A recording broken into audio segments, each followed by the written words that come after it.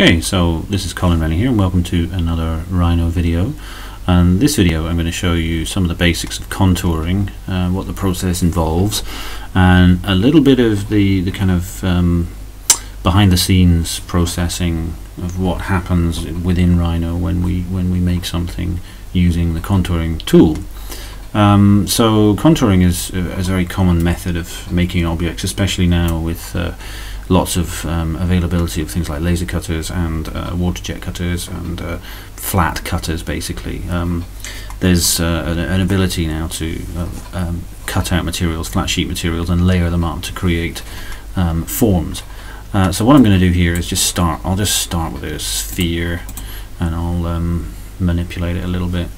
So I'll start with a sphere and I'm going to just shade it here so we can see it and uh, I'm going to rebuild this to give it some contouring.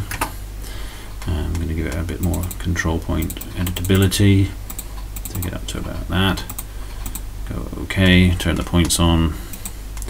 And then we should be able to manipulate the object around a little bit. I'm not doing anything here particularly interesting. I'm just really mucking around with the form slightly to make it, you know, just an amorphous kind of shape. I might take these up here and uh, move them up slightly.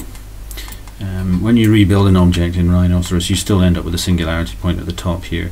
Um, you always do that, and, and, if you're making primitives, unless you, you made the shape um, by another form, another method. Um, but uh, this will do for now. Just it's really just to, to show you any old any old shape and how we could contour that. So we have a we have a form here that we've we've made.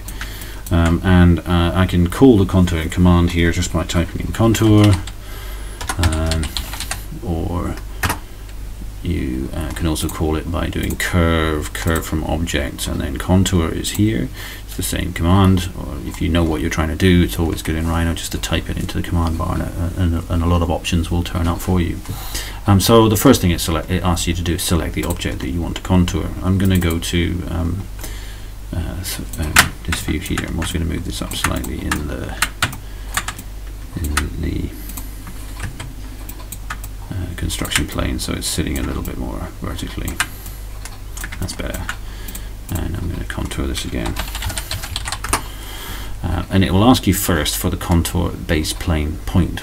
Um, and that is a, a, a, point which you would go through so this is effectively the base of your axis so we'll, we'll choose the zero point and then I'm going to go back to my perspective view. I'm going to contour this straight up vertically so um, I'm going to choose a point with my shift key down straight up above it and then the next thing it will ask you for is a number, a distance between contours. Now you can have a look in here if you zoom in the distance between contours will be one unit here well I'm going to I'm going to make this five units to make it a little bit more manageable and you can see immediately it will create those contours. Um, can move those to the side and you have a, a group of contours. What it's doing effectively is it's creating planes and it's intersecting those. So I'll do this manually so you can see what it looks like. So first I'm going to I'm going to create a plane uh, through the object like this. So there's a plane. Make that a little bit bigger actually. I'll just scale it up slightly like that so that it goes all the way through. And then I'm going to create a, an array of these planes. So I'll do a rectangular array number in x direction I want 1 number in y direction I want 1 number in z direction I want I'll just say 15 enter enter. Um, oh, I did that wrong hang on do it again. Uh, number in x direction 1 y direction 1 z direction is 10 leave my number on. 10 enter and then the z spacing I want was the same which will be 5 enter. And there I have 5 as I'm going straight on like that. Okay um, and then what you do is you can run the command called intersect. Uh, objects to intersect is all of this, and then it will find those contours. Effectively, that is identical.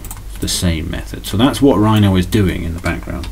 It is running a macro. It is creating a series of planes in uh, going out for, through the um, effectively the z-axis of your plane or the normal of your plane, and it's finding the intersect points all the way through okay?